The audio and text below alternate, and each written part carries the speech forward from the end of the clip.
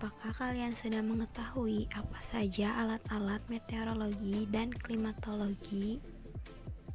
Pada video ini, saya akan menjelaskan tentang beberapa alat-alat meteorologi dan klimatologi. Yang pertama adalah Campbell Stock. Satuannya jam. Fungsinya untuk mengukur lamanya penyinaran matahari. Biasanya ditempatkan di ruangan yang terbuka.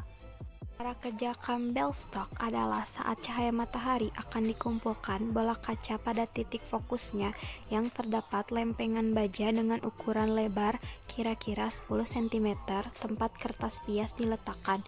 Jika sinar matahari memiliki kekuatan lebih dari 120 watt per meter, maka akan membakar kertas pias sehingga meninggalkan jejak terbakar berupa lubang yang menunjukkan lama waktu penyinaran. Yang kedua adalah actinograph bimetal. Fungsinya untuk mencatat total radiasi matahari. Satuannya kalori per cm kuadrat. Kerja actinograph bimetal adalah terdiri dari dua strip bimetal putih yang melekat pada strip bimetal coupling. Bimetal putih mencerminkan radiasi matahari yang dapat menyebabkan perbedaan temperatur pada bimetal, sehingga akan mencatat perbedaan temperatur yang terjadi. Yang ketiga adalah gun Bellani. Fungsinya untuk mencatat intensitas cahaya matahari. Penempatannya di adalah kalori per cm kuadrat.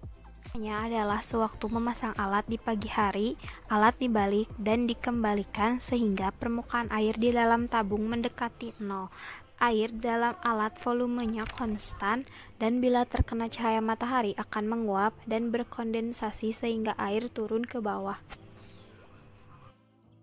Yang keempat adalah higrometer. Satuannya derajat Celcius.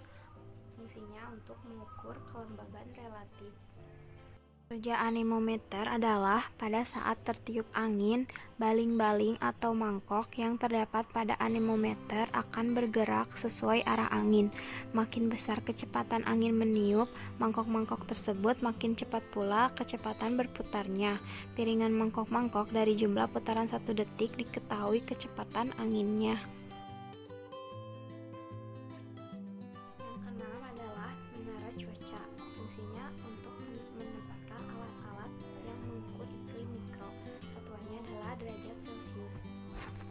Adalah dilakukan saat pengamatan yang dilengkapi dengan termometer bola basah, bola kering, maksimum, minimum, dan pitch evaporimeter. Yang ketujuh adalah untuk mengubah cahaya matahari menjadi listrik. Adalah. Diartikan sebagai cahaya listrik yang menyerap energi matahari dan menyebabkan arus mengalir antara dua lapisan yang berlawanan.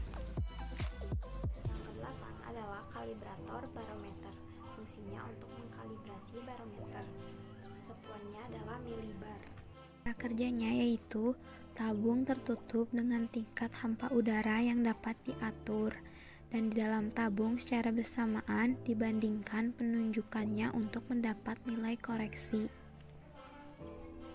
9 adalah barometer air raksa. Fungsinya untuk peramalan cuaca. Satuannya adalah milibar ketika tekanan atmosfer, kolom merkuri dalam tabung kaca juga turun. Fenomena yang menandakan potensi badai saat badai berlalu. Level merkuri akan mulai naik seiring dengan tekanan atmosfer yang juga naik.